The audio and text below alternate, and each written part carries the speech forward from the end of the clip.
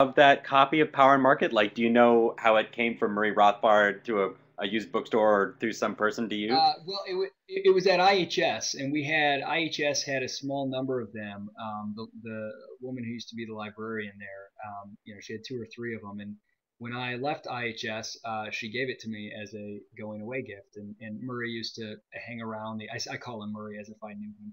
Um, Murray Rothbard used to hang around the IHS library quite a bit. And, um, you know, he probably signed some books for them or something at some point. But uh, very cool, very cool stuff. Yeah, that's great to have. Well, good evening, everyone, and welcome to Liberty.me Live. Uh, I'm your appearing and reappearing host, Mike Reed, and tonight we're here with Isaac Morehouse to talk about his new collection of essays, Better Off Free. Uh, Isaac, as many of you already know, is an entrepreneur and a relentless communicator dedicated to the pursuit of freedom. Uh, if you uh, find any libertarian website, you are likely to find at least one Isaac Morehouse article, and he's brought uh, more than 50 of them together into this collection, Better Off Free. Uh, besides doing the writing, Isaac is also the founder and CEO of Practice, uh, Praxis, which is um, an innovative private sector education alternative that provides a 10-month uh, program combining real-world business experience with the best of online education for people who want more than college. Uh, Isaac's new collection, as I said, more than 50 essays in Better Off Free. It's wide ranging. It covers a lot of topics, mostly economics. There's also ethics in there. There's a lot of uh, exploration, uh, nearly poetic writing about the beauty of the market. But there's a central theme that runs through the whole thing, and that's, as Isaac puts it, the theme is freedom is better than force. Uh, I think my favorite part of the whole collection is the piece on squirrels. It has this really funny short piece on how uh, Isaac remembers writing it, I'm sure, that uh, a squirrel has no intention of propagating uh, oak trees. It's just pursuing its own crazy interest, and indeed, it like loses half of the nuts it tries to collect. But nonetheless, in pursuing its own self-interest and making its own mistakes, it, it preserves and propagates the ecosystem around it. And then, of course, that he makes that into a wonderful metaphor for participants in the market, real, flawed, self-interested people who are nonetheless uh, creating this broader market system. So I, I, I think it's my favorite part of the whole piece, Isaac. So, Isaac Morehouse, it's wonderful to have you with us. Thank you for joining us tonight on Liberty.me Live. I hope you're going to tell us more about your book and about the intellectual journey that you chronicle through the essays inside it. Yeah, absolutely. Uh, thanks for, for having me. Thanks for the intro. and uh, definitely a huge thanks to Liberty.me for, for publishing the book. Uh, BK helping with editing and, and really Jeff Tucker uh, coming to me and saying, hey, we should we should put together a book with some of your stuff. It's funny you should mention um, the squirrels uh, essay in there because for, for two reasons. One, that is kind of the um, that essay kind of marks the point in time where the real transition had occurred. It was like the point of no return. So it's one thing to arrive at particular conclusions on an intellectual level, but it's another thing for those to actually become habitual, to, to for, for the way that you see the world to be transformed. You know, I, am sure all of us have been at an event or uh, read an article or something where somebody argues a case for something, maybe something controversial, and you buy their argument. You've never heard it before. It's new, it's radical, but you say, wow, they won me over. All of their premises uh, seemed true and their conclusion followed. And that's a solid argument. And then you went on your merry way. And the first time somebody challenged you, you didn't really know it on a gut level enough to say, oh, yeah, well, here's the response. It was like, well, I know this is true because I heard somebody argue it once. Like, you just need to go listen to them because I don't know it, right? I, I think it takes a long time from the point we kind of intellectually arrive at something until it really becomes who we are and the way we see the world. And the day that I was going for a walk and watching all these crazy looking squirrels running around, and the first thing I thought of was how this was this sort of bizarre spontaneous order and how odd it is that people have a hard time noting uh, and believing in the power of spontaneous order in the market when it's all around us in nature um, it's like I couldn't help but see it everywhere I looked. And, and, I think once you get to that point, it's it's the point it's the point of of no return. Um, and it also is interesting you brought that piece up for another reason because one of the things that I'm going to mention briefly here is um, just kind of on a personal level, you know, I'm not I'm not an expert. I'm not a you know academic. I'm not a um, you know prolific uh, author of books or anything like that. Um, so there's always an element of embarrassment or um, risk in saying, okay, I'm going to put a book out there, right? Even though a lot of this, everything in there uh, has has been accessible in one way or the other, almost everything in there as an article or a blog post, and that can be a little scary to do those things. But something about compiling it to a book, you feel like you feel like maybe it's going to seem arrogant. Oh, this is my book of my wonderful thoughts, and and it's just a little bit kind of embarrassing. And a piece on squirrels, especially, it seems so silly and trivial. And I literally, was, I, I, went back and forth so many times on whether I should put this stupid thing in there. And I'm like, what the heck? I got to stop being so embarrassed. I'll just throw it out there. So I'm glad you mentioned that. Um, so as as Mike said, I mean, this book is it's a collection of essays, and so it's got a lot of different ideas all over the place. It really what what it is is my own intellectual journey over really the last like 10 years. Um, and it starts with kind of um, in, the introduction, I explained this. That the book is actually sort of a reverse chronological order. Um, you know, the essays are all essentially standalone, but if you were to start at the very end, that's kind of where I started once I was, you know, excited about the ideas of freedom. Um, and so it's kind of just one off hey, here's why economic regulation is a bad idea, uh, etc. And as I continued through through my intellectual journey, um, I got more and more radical, uh, and that did that did a lot of things to me. So uh, let me frame it this way: I have always had, I think, a relatively clear, I would say, mission or purpose in life. Um, and I know that's kind of a rare thing. I know I know not not everyone does, and I I just at some point I think it was in my late teens, had this very clear idea that what I want to do in life, really what I'm here to do, is to help make people more free. And that's a really broad thing. That can mean a lot of things. And I'm still trying to figure out what that means. But that motivates and drives everything I do. And I've always been really passionate about that. So great, I've got this idea. This is what I want my life to be. I want to make people more free. And that led to two major questions, major questions that all of my intellectual and really career and life pursuits um, have been in an effort to answer. And the first question is what actually makes for the best and freest world? What does that world look like? What are the policies, institutions, etc.? And the second question is once you think you know that, what's the best way to get there? It's not enough to just want it and to just do anything. What's the most effective strategy, right? I don't want to just give somebody, you know, a piece of bread. I want to change the conditions that bring about hunger. I don't want to, you know, cure disease. I want to eradicate it. And so deciding what the, the, the, freest kind of best society looks like was the first step in the journey. And con- concurrent with that is, and how do we get there?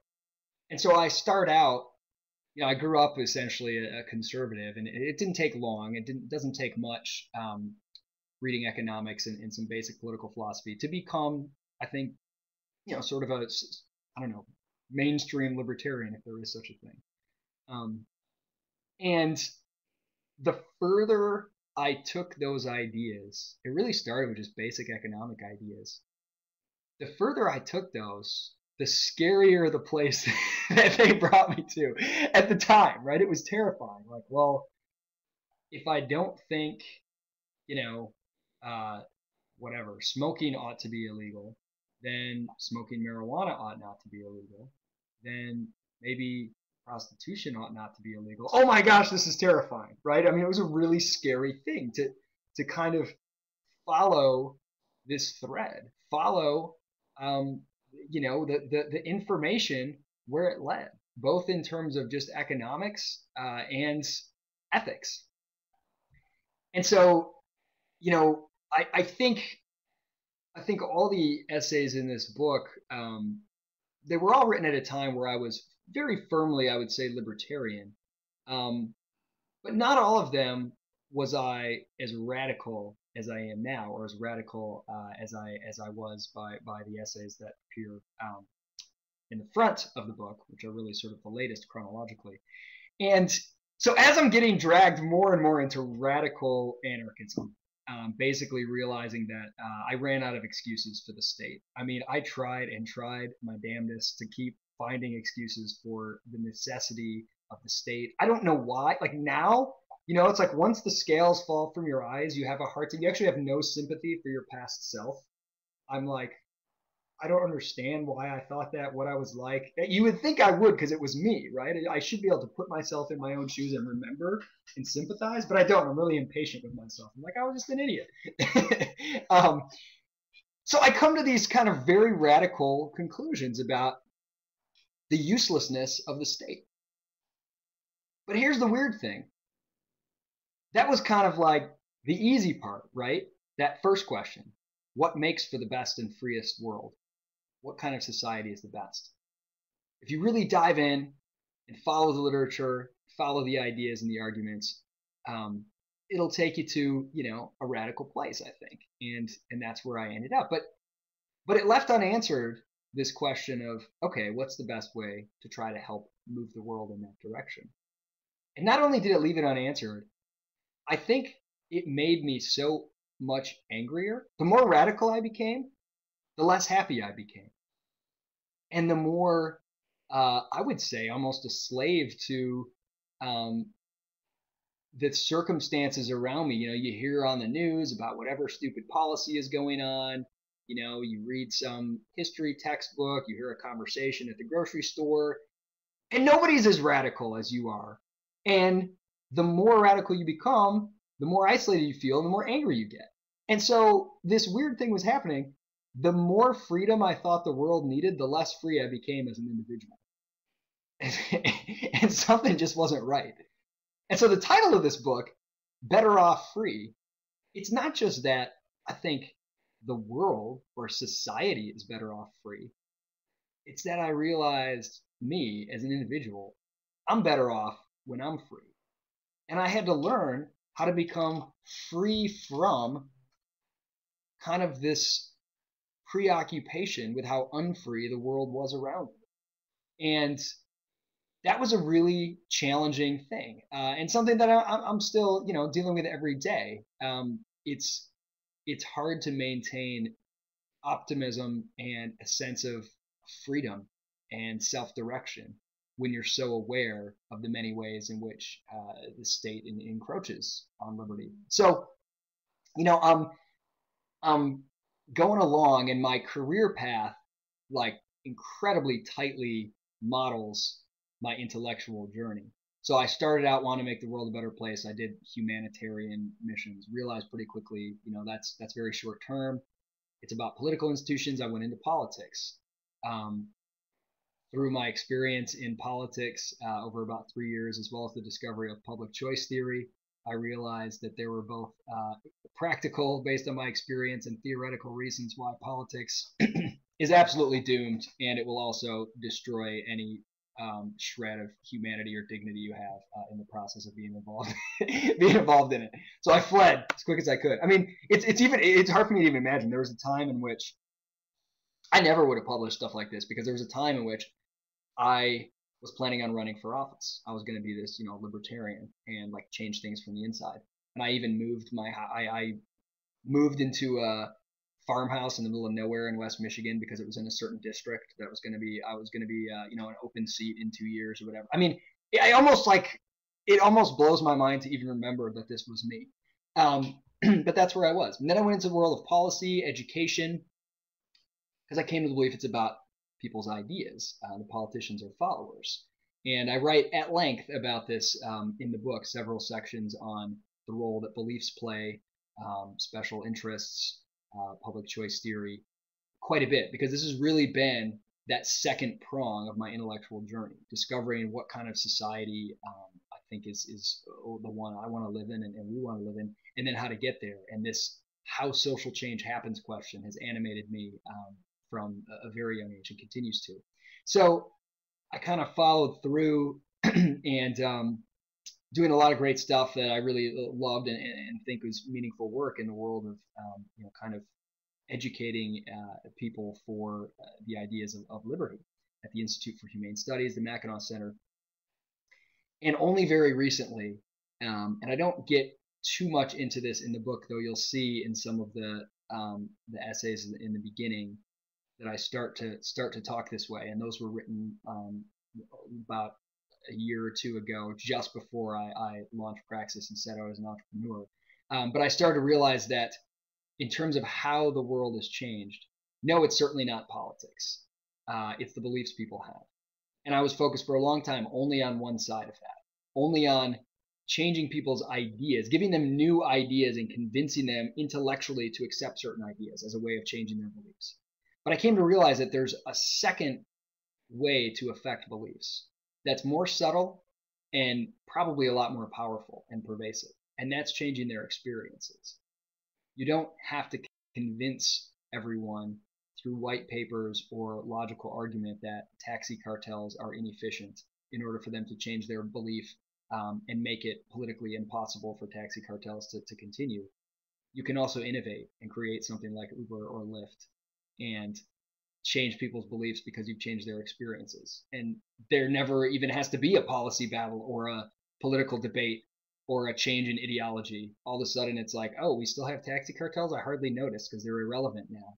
Kind of innovating around things, um, and that's kind of and that's kind of the space that I'm in now, and it's really exciting. So, again, um, through all this, at each step of the way, I was becoming more radical in where I thought sort of the desired end was. I was becoming less political in terms of how I thought was the best way to get there. And I was learning each step how do I emancipate myself from this sense that I am like not free because of the knowledge I have, right? Like ignorance is bliss, but the more you learn, the more unhappy you are about the state of the world. You know, you start learning about whether it be business cycle theories or just the, the intrusions on civil liberties or, or just how absurd the notion of a state is in general and you just feel really unhappy and not very free. Um, so learning to deal with that ha- has really been a major part of my journey, and I, and I write about that a lot. There's a few essays in there um, on this, in particular with regards to elections, politics, why I uh, made a conscious choice to stop watching or reading the news, and I haven't watched or read the news in probably eight years.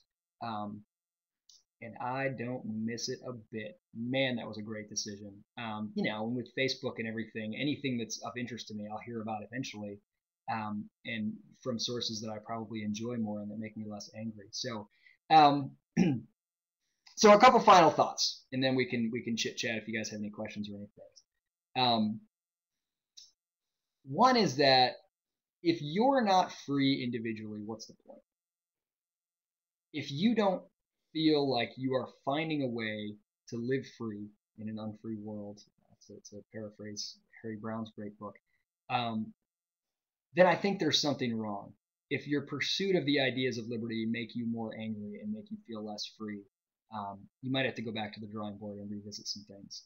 Uh, if you, as my nine year old son says, can't control yourselves from raging in the comments on YouTube, uh, in his case, when somebody talks badly about Minecraft, then maybe it's time to turn the comment section off. That, that's another thing that I did, by the way. Um, you know, as I made myself, uh, and this was a, a, conscious choice to make myself start to write um, more, and I was kind of embarrassed and afraid to at times, especially as my ideas were radical and as they evolved over time. I didn't want to write something that was you know, going to be different. My beliefs would be different later.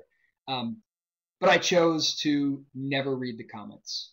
Now, maybe that's just because I'm a very emotionally and you know weak person that I can't handle it. But I felt like I would get in these comment wars and they would only make me angry. There would be no enlightenment. There'd be no sense of awe and wonder about the, the beauty of, of liberty or anything empowering. It was just like muck and getting stuck in it. Um, so I thought, because it's essentially criticizing and nitpicking.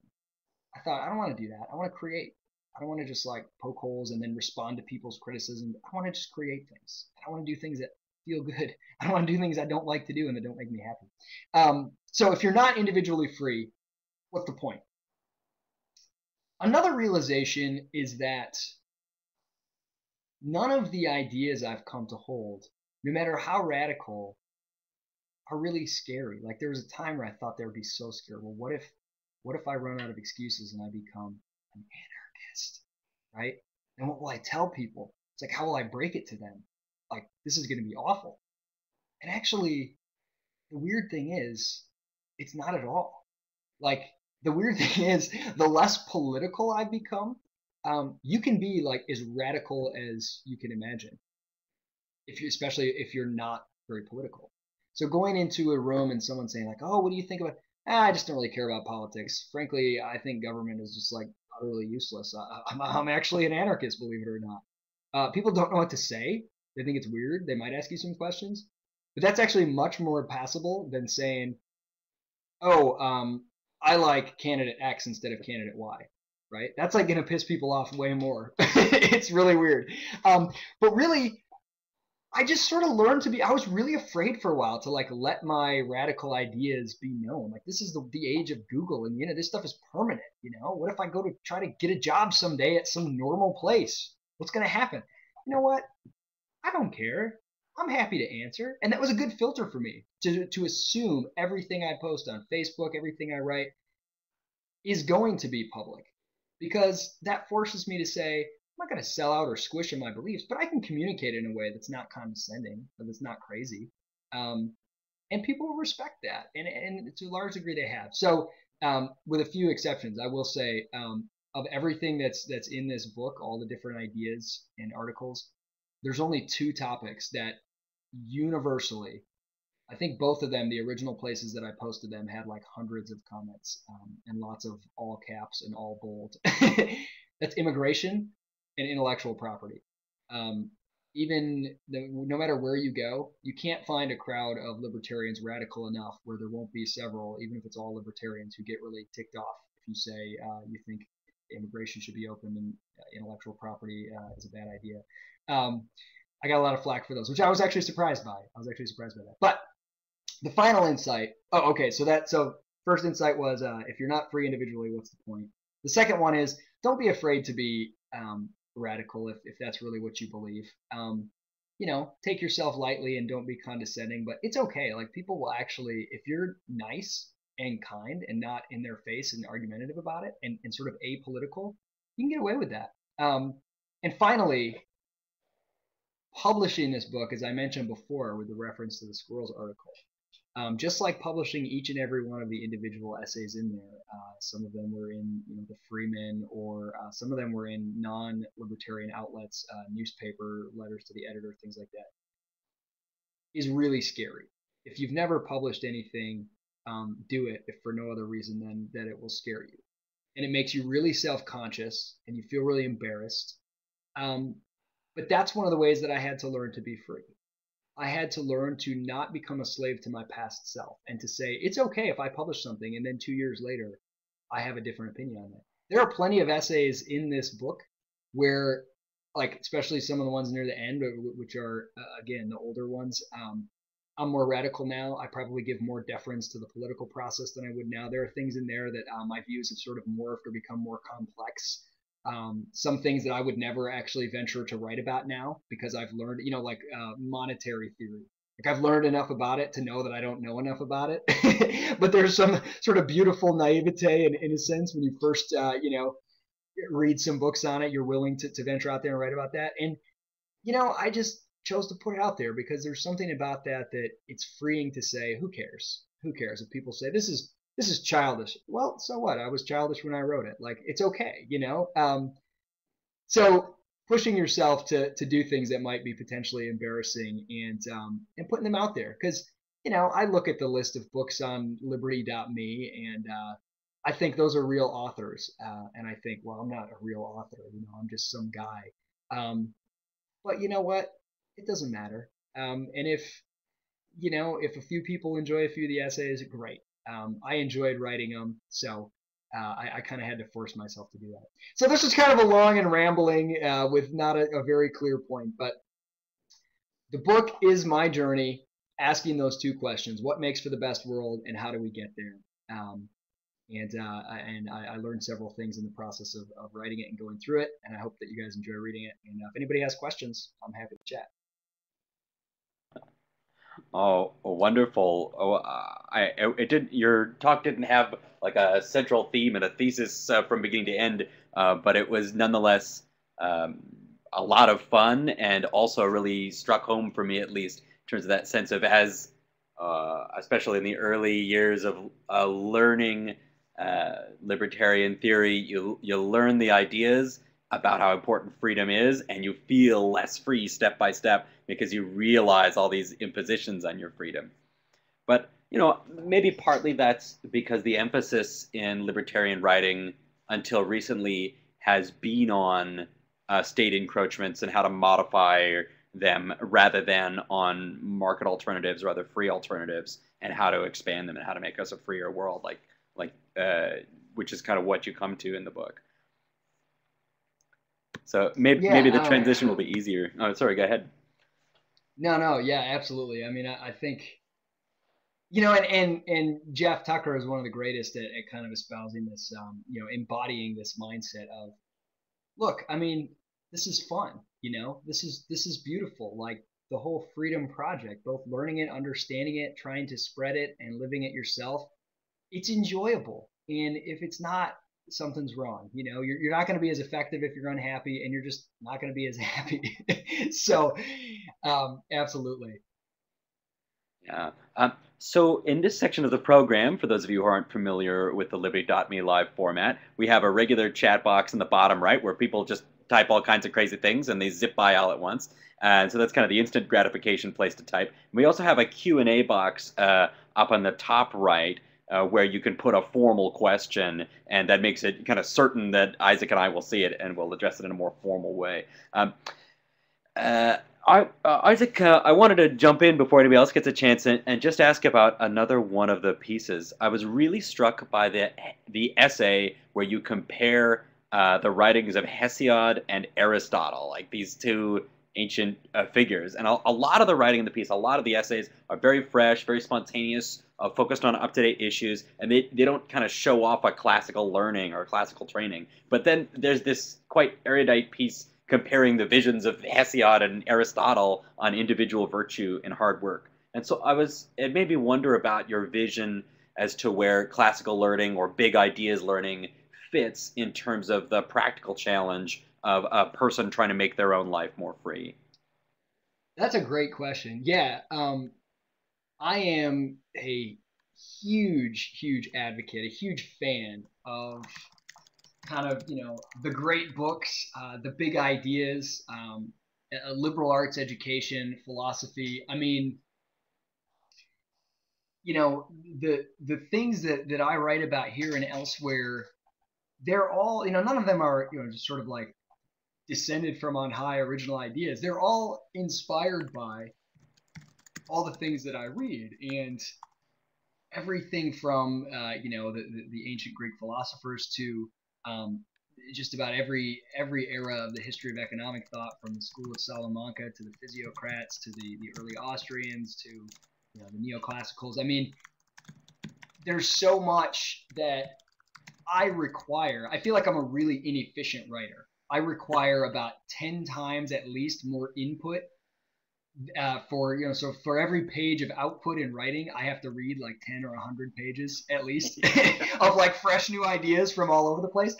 Um, so it is very much informed by that and i think wrestling with the big ideas and the big writers like you shouldn't be writing about i mean i don't want to sound elitist or anything like that but in general like don't dive into writing about spontaneous order unless you've read a whole bunch of Hayek, like several books, and you know, uh, not just Hayek, right? I mean, if you're not you're not going to write about monetary theory without diving into it or public choice theory, um, and I, I really have dived into stuff on, on, on kind of a um, you know pretty pretty in depth way, but I don't. I'm not an academic, and I don't kind of pretend to be an academic. And so what you see in a lot of the writings, and I also I have some weird beliefs. Like I hate the practice of citations. Um, I actually kind of see it as as part of a broader cultural trend, which which is the same culture that produced and, and worships intellectual property.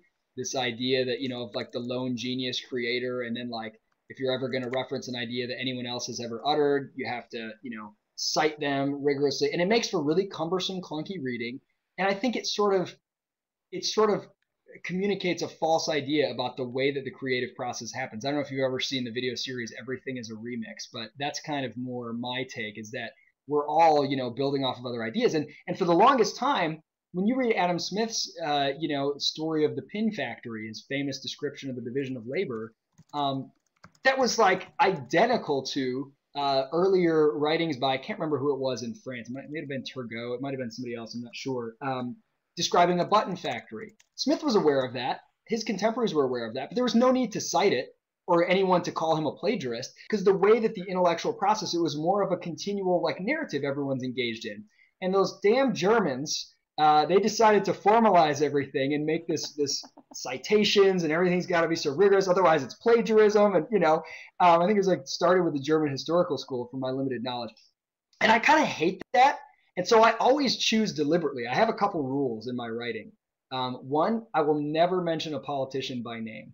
Uh, that's a newer rule. There may be some essays in the book where I do. I don't think so um, because I don't think they deserve the credit. And I think whatever point I'm making is bigger than the name of a particular politician. Because the minute you mention a politician by name, um, everybody debates whether or not it's true of that politician or they defend or whatever. I want to make a point that's bigger than that. Um, and two, if I can't talk about things kind of just in the, in the realm of their ideas without a ton of citations and references and quotations and things like that, then I probably don't have a good enough grasp of the ideas. Like I want to talk about it in my own language and, and as I internalize it. And so I would rather read a, a book in its entirety, let it stew for a couple days, and then write a bunch of blog posts or whatever that are kind of what I learned from the book. Sometimes I never reference the book at all. And I'm not trying to rip off or plagiarize. I'm just communicating the ideas as they sort of are impressed upon me. And I find that a much more enjoyable way to write. And I like reading that way as well. So um, there's a lot of stuff in the book where, you know, you could almost track it if you looked at my reading list at any given time in my life. Like, okay, I was reading like Hesiod and Aristotle and all this stuff um, at this time period. And that's one of the few articles where I do specifically reference it. Um, and you can kind of see what I'm reading based on what I'm writing. But I don't often reference it uh, for, for that reason. I'm kind of stubborn in that way. That was a very long response. I apologize. no, but it was helpful, and I like that rule. Well, at least I like the rule about politicians. I find it hard to get away from citations myself. They make me feel warm and cozy and safe. yeah, uh, some people. A, and, and if you're going to get more academic in writing, you should. Yeah. if if you intend to get more academic, you're kind of stuck with them. Okay, I've got a question from Tasm Lab, and uh, he uh, asks, uh, "Hi team, there seems to be two kinds of uh, libertarians, and uh, similar to the bifurcation Tucker's laid out between humanist, brutalist, or thick and thin, and he wonders if the the the the relevant gap is uh, between complaining libertarians complaining about the Fed or the TSA." Uh, versus those who'd uh, prefer to move somewhere sunny and start a business. Oh. And take their their uh, kids out of school and just talk, stop talking about the assholes.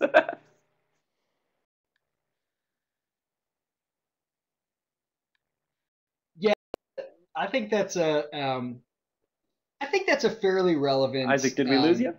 Dichotomy. Now, can you hear me?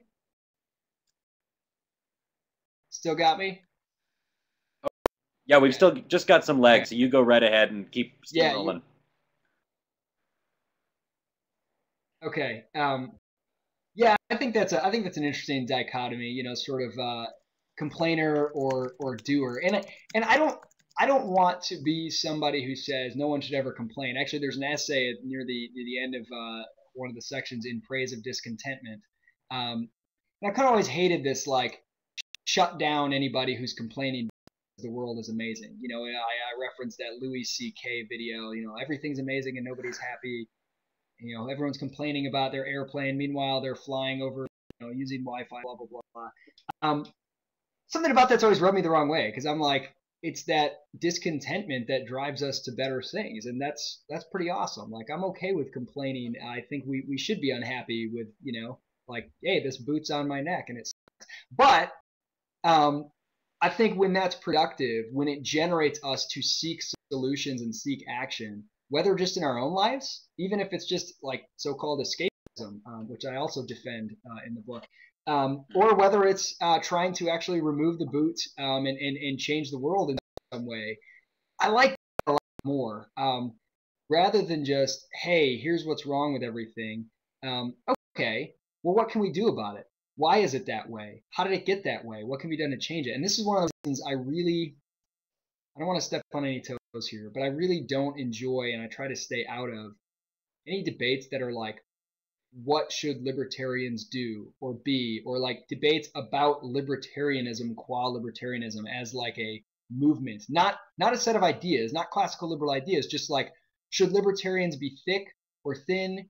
Should they, you know, eat pizza or subs? Should they, you know, whatever? Like, should they be libertines in their personal life? Should they be, you know, I I don't really care what libertarians should or shouldn't be. Like, I care about the ideas of liberty, um, and I care about advancing those in a way that's fun for myself. Um, and I think kind of criticizing these nebulous things like a movement or society or you know the sheeple or whatever don't really help. It's like discussions where oh people are so ignorant of economics, it's so frustrating.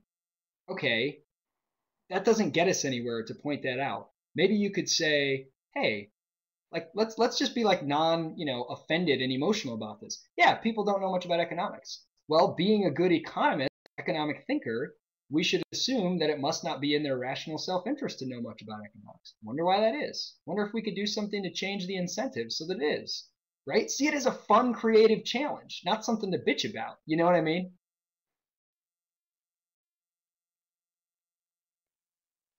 That was a great uh, and um, characteristic answer for you, rather than picking, uh, rather than even picking a fight about the practice of picking fights.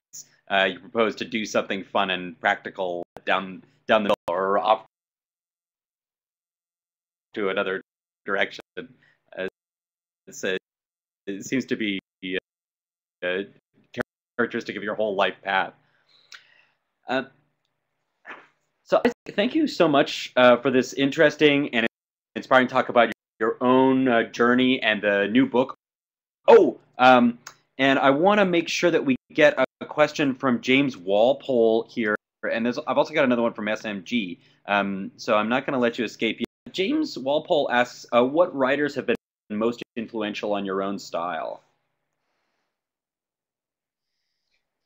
Ooh, that's a great question. Um, you know, I think in terms of style, I, have I've never really been that disciplined about writing, so I'm not like Russ Thompson who sits down and you know rewrites uh, Hemingway's books so that I gain his style. Um, I probably you know should be and, and, and wish I was a little more disciplined and conscious in trying to emulate somebody's style. But I think I think the people you read a lot influence your style. Um, and that can be really dangerous for libertarians because, because if you read a lot of Hayek, for example, um, you'll write stuff that's really hard to read. Uh, I actually happen to think Mises is a really clear and concise writer. A lot of people complain about his writing. I actually really like it. Um, but I would say the, there's only really one writer that I think really has influenced my style, uh, and that's C.S. Lewis. And I think that's primarily because I began reading him when I first kind of decided I liked ideas. I mean, like I literally did nothing but play Legos and baseball until I was like 15 or 16, and I, I don't even know if I knew how to read. And then I, you know, I started reading. I got interested in ideas, and Lewis was the first thing I read. I read tons of Lewis books, and his style. What I love about it is he's he's logically rigorous. He's a, he's a good philosopher. He lays out premise and conclusion. He has a sound structure, and you may not agree with him, but you're not going to find all kinds of like fallacy and straw man and, and all kinds of problems with the structure. But he does it in such a way where he's so colloquial and warm and he'll like throw in references to like yummy sounding food and all you know it's just there's something about you enjoy reading it it's, it's witty um, but it has a good flow but it, but it's also if you poke the surface it's not just like oh this is so romantic and warm like there's a tight logic to it and i really respect that so that's probably one that i, I would say has influenced me a lot i, I don't think i write uh, nearly as well as him but um but otherwise um I, I do really like the style of writing, and uh, you don't see it much in me, but I keep trying to get closer to it. Um, that's very punctuated and short. I mean, almost to the extreme of, of like a Hemingway. I really, I really like trying to economize on words um, as much as possible, and I've tried to train myself to not say things like, I think, I believe, it's my opinion, but to just say, like, this is the way it is. Um, it's more interesting and it maybe sounds like i'm being arrogant but like that's my opinion uh, so of course i'm going to say that's how it is that's what you're left to agree or disagree with um, so anyway i don't know i don't know what else uh, what else to offer there but, but i would just say that tons and tons of reading of tons of different kinds of readers or writers um, you know the more i read the more i feel like i know how to write um, and, and that's a huge a huge thing that i, I found if i ever stop reading um, my writing starts to, to suck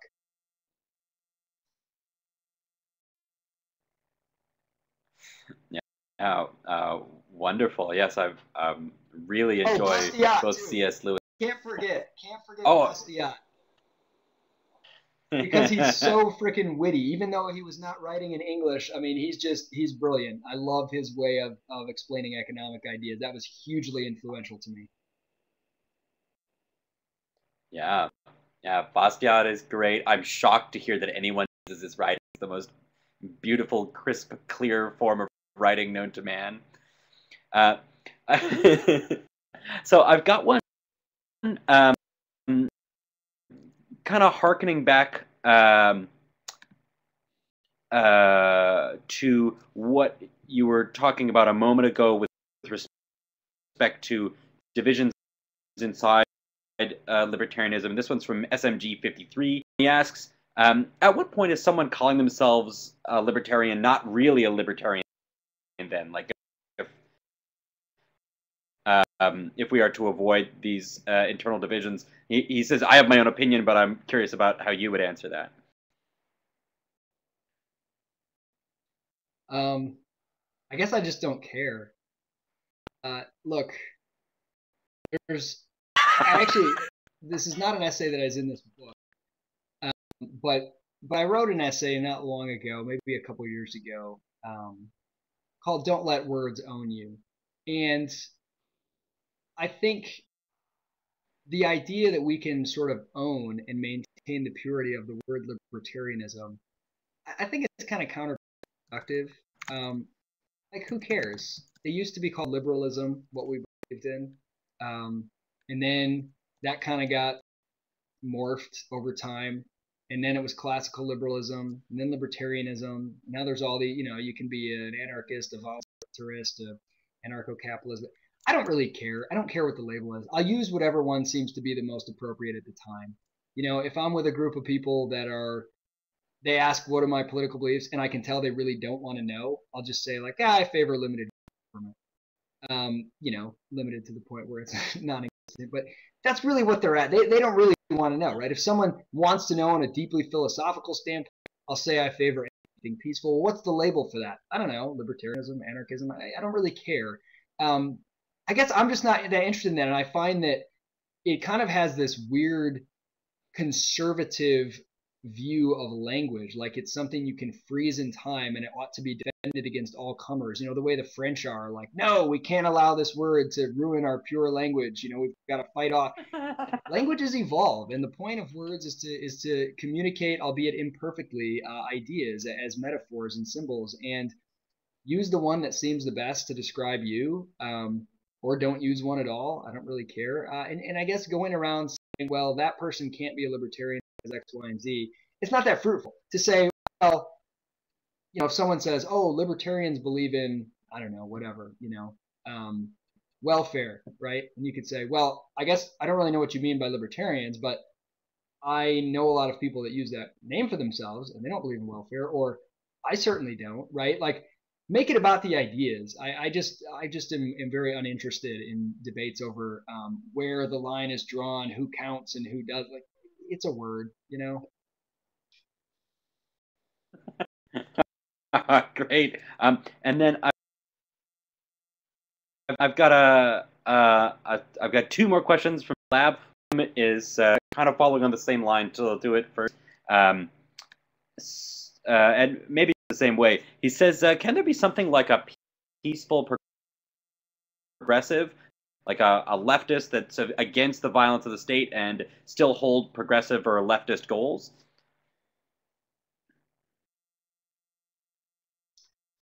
Um, I mean, I think I've I think I've met or read people like this. Um, if I know what you're talking about, if by progressive goals it's sort of you know um, more greater income equality, um, you know, more people using more, um, you know, crappy recyclable products or whatever it might be. No, I shouldn't say crappy, but they mostly are. Um, yeah, I mean, look, look, this is what libertarian or or a freedom-minded philosophy. It's about the means. It's about using force as a means, and that that's both economically inefficient and immoral.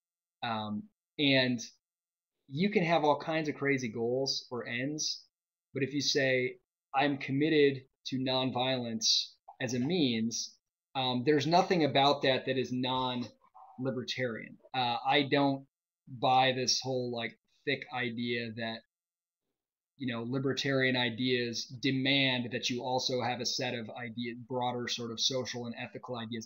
I don't happen to think libertarianism is a life philosophy. I think it's a political philosophy.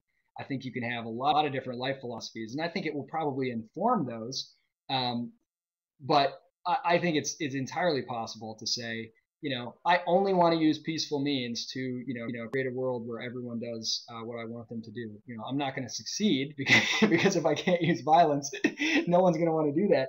But um, you know, if I'm actually true to that, um, I'm not really violating any any sort of libertarian uh, standards in, in that sense. So yeah, I think it's possible. Great, great. And um, uh, last question, Tazimlev asks, so what did you do for your 30th birthday?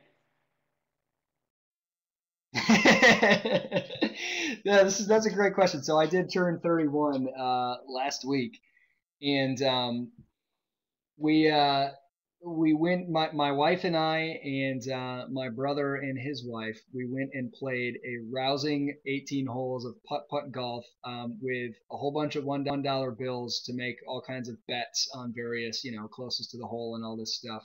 Uh, smoked a good cigar and had some pho from a uh, vietnamese restaurant here. So that's about the perfect birthday for me that sounds wonderful. Well, thank you uh, for sharing what is a perfect evening for us on Liberty.me Live. Isaac, it's been fun. It's been informative. Um, it's uh, been practical. And uh, the next thing I'm going to do is I'm going to tell people a little bit about a few more great Liberty.me Live coming up later in the week. Then I'm going to give people a few links to more resources for, us, uh, for the for Isaac's company Praxis, and then I'll turn it back, you, Isaac, and give you the last word. Uh, the things I want to tell you about happening at Liberty.me live this week, I have three things to tell you about. Is we have the beginning of our series with Rachel Mills, uh, formerly of Liberty with uh, Rachel, and this is a Saturday night, uh, p.m. Eastern time, or the the class is running at 8 p.m. Time on this Saturday, and uh, is uh, talking with Angela Keaton, who's the director of operations at antiwar.com, and the whole talk is going to be about ISIS stuff.